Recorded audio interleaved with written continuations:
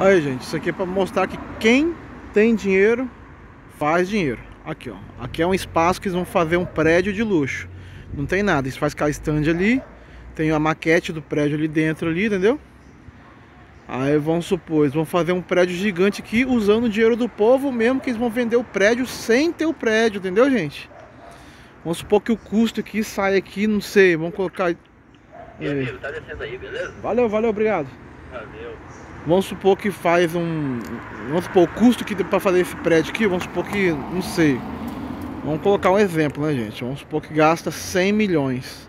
Deu 100 milhões para fazer esse prédio de luxo. Aí eles vão lá, vendem.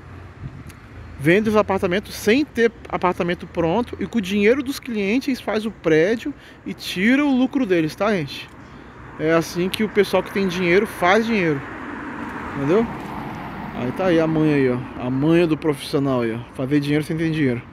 Mas só esses caras grandes que conseguem, tá, gente? Geralmente eles conseguem pegar um empréstimo também. Mas geralmente é... É 50% do empréstimo para começar a obra só. O resto é tudo os clientes mesmo que pagam. Valeu, gente. Tchau. Só um segredinho aí ó, dos milionários.